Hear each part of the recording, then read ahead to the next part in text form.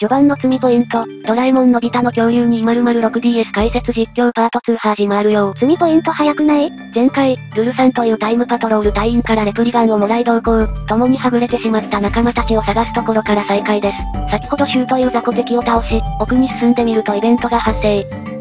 首長竜を連れたガキか、どこにもいねえな。そんなもん連れてたら、すぐに見つかると思うんだが。こいつらザル警備すぎない？うむ、目の前を通っても何のアクションも起こさないからな。ポケモントレーナーみたいに発見されてバトルも仕掛けられないから、まプレイヤー側としてはありがたいんだけどね。というわけで走行しているうちに、敵のアジトらしき洞窟を発見。隠れる気ゼロで草。原作の恐竜ハンターは絶対見つからないようにカモフラージュしてたのに、このゲームでは案外ザルみたいっすね。ほんとよく今までこいつらタイムパトロールに捕まらなかったな。うむ、ではここはルルさんの提案でアジトに乗り込むことに、のび太は若干嫌々ではあるが、仲間が捕らえられているかもしれないので、しぶしぶ了解するのであった。それではお邪魔するわよ。みんな見て、ただの洞窟じゃなさそうよ。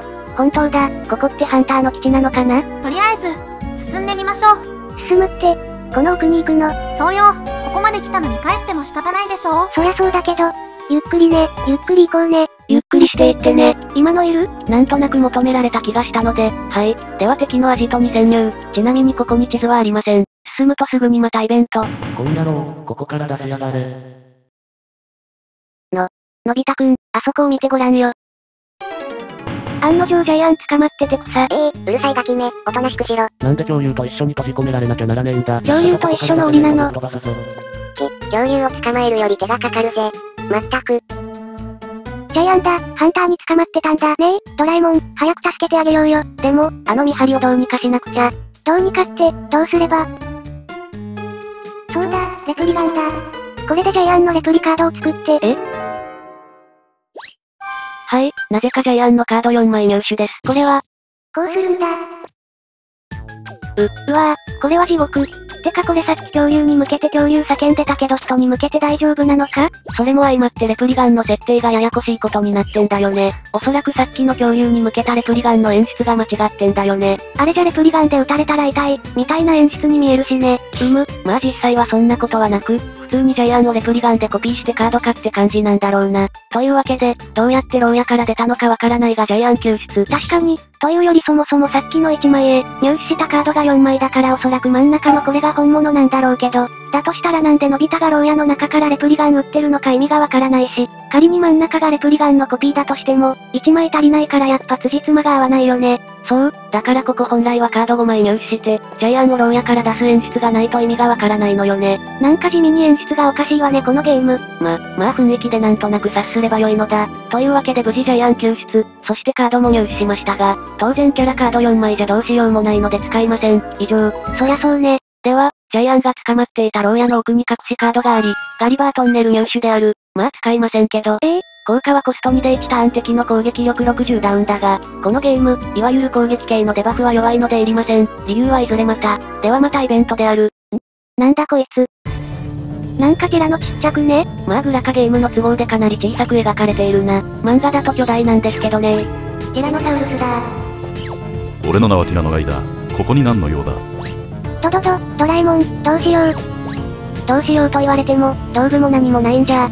メガネの小僧に青いたぬきそうかお前たちか。リーダーが欲しがっていたピナガ竜を連れている奴らは。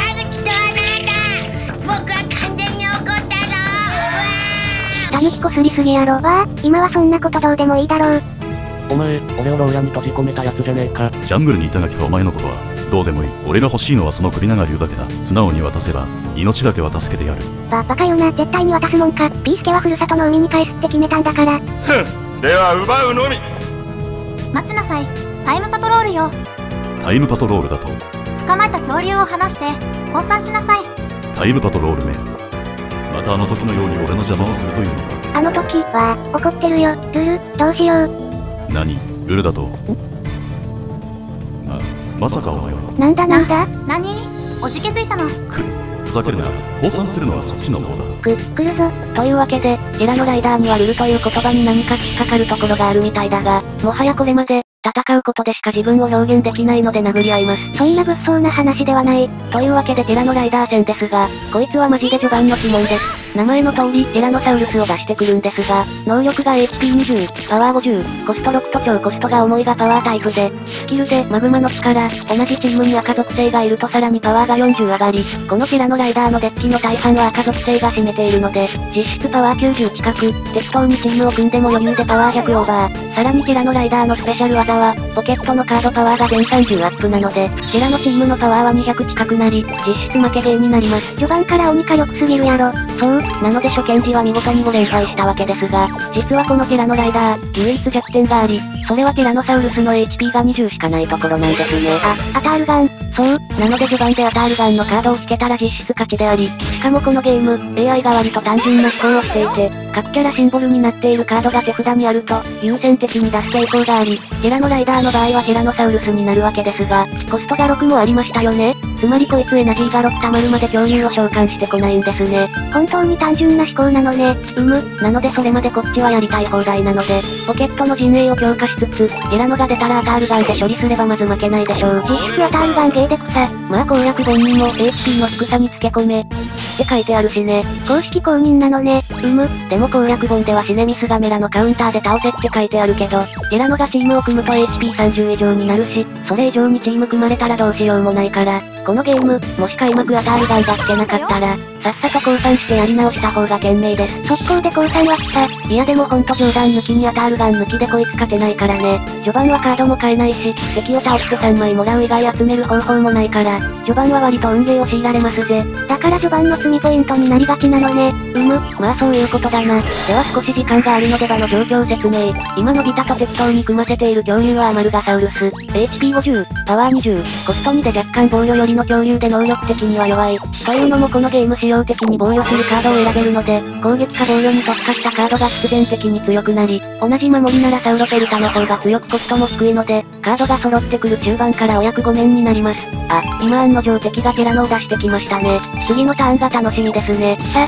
ここ今守りならカウンター持ちのシネミスガメラでもよかったんですが、キャラカードは召喚にコストゼロ、倒されればエナジーが1回復するのでわざと破壊させました。ああ、そういう使い方もできるのね。ではこちらのターンですね。ティラノくん、じゃあ死のうか。やめろ死にたくない死にたくない死にたくないティラノもチームを組む前に潰せば雑魚ですね。ば、バカな、か、簡単すぎる、あっけなさすぎる。ここまで来ればあとはもう簡単。敵は意味もなく3ターンも潰してくれたので、こっちは伸びたをパワーアップ。そうすればもう1体恐竜を多く組めるので、先に出しておいたカルノタウルスをチームに加えます。これでパワー70、ほぼほぼ盤石ですね。なのであとは消化試合なので、他のカードも少し紹介。まずは今チームに加えたカルノタウルス。HP10、パワー40、コスト3とパワータイプの恐竜ですがコストの割にパワーが低いので微妙。スキルに炎の力という、同じチームに赤属性の恐竜がいるとチームのパワーが20上がる、劣化版ティラノみたいな感じだが、ということは、他に赤がいてチームがパワーアップカードで2体以上組めること前提なので、どんなに手札が良くてもスキルを発動するまで3ターンかかり、先にいるとバニラで、バニラってのはスキルのないカードのことを指しますが、HP10、パワー40、コスト2の恐竜がいるので中盤カードが揃えばやっぱいらないです。コストと能力が見合わない恐竜が多いわね。うむ、このゲーム毎ターンエナジーが2しかもらえないから、コストが3以上の恐竜は重すぎて使えなくて、よっぽど強力なスキルでもなければ入れない方が良いと思います。あ、敵のスペシャル技ですね。お前らの力を見せてやれティラノチャージ、ポケットのカードの攻撃力が全てプラス30で永続効果ですが、チームを組んだらプラス60ではなくプラス30なので注意です。で、しかも今第2のティラノまで出てきちゃってますね。え？やばくない？やべえよ。やべえよ。とりあえずシネミスガメラで耐えておくけど、次のターン超パワーのティラノに攻撃されちまう。だが、俺はこんなところで負けるわけにはいかねえ。俺は今をそして未来を救う頼む、してくれ神のカード。みんな俺に力を貸してくれこのカードは俺の希望への光だドローあー、こいつマジで来やがった。夏を打ち砕け滅びのバーストストリーム粉砕玉砕雑魚かただ運がいいだけじゃね？いやでも別にアタールガンなくても勝てたけどな。ええというのも、仮に今ティラノサウルスで殴られてもその次のターンで決着つけられるからですね。それもそうか。やっぱティラノ重すぎて2枚目出すのにも6ターンかかってるし、やっぱ初手アタールガンつけるかどうか、ここだけが重要なんだよね。2匹目のティラノなんて怖くないのね。うむ、なのでこれで決着ですな。あ、ちなみに戦闘中の演出は長いから飛ばしてるんだけど、せっかくのとどめなんで見ましょうね覚悟しやがれ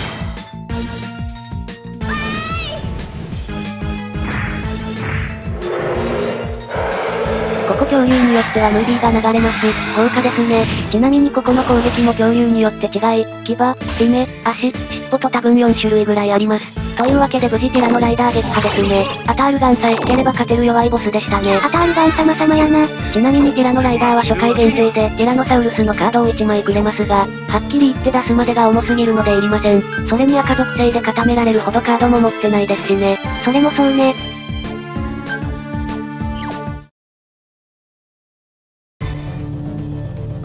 俺のレプリカードが破れるとは。覚えておけ。この狩りはいずれかです。消えた？待ちなさい。逃げていっちゃったね。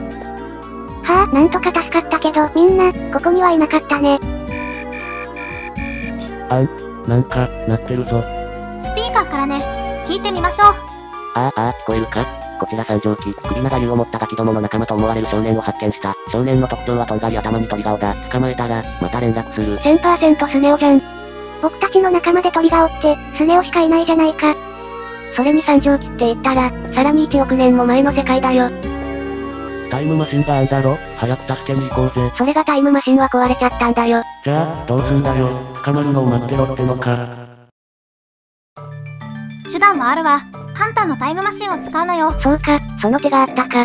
でもハンターのタイムマシンは長空間の裏道を通るから決まった時代にしかワープすることができないけどねじゃあ、僕たちの時代には変えることができないのか。変えることなんて後回しだ。スネを助けるのが先だろ。そうねもしかしたら恐竜も捕まってるかもしれない三条機へ行きましょうよーし、出発だ。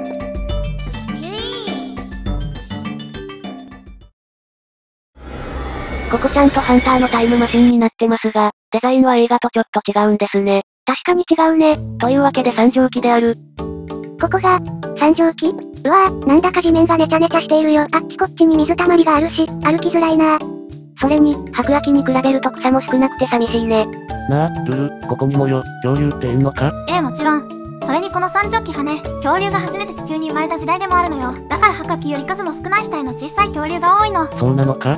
なんで、つまんねえの？だからといって安全なわけじゃないわ恐竜の他にも凶暴な生き物がたくさんいるんだからとにかく、危険な旅には変わりはない。特にのび太くんは、よそ見をしないで歩くんだよ。む、言われなくたって、よそ見なんかしていないぞ。ちゃんと前だけ見て歩いているんだから。あこの川深いほんま草だよ、もう、手のかかるやつだ。ふう、えらい目にあった。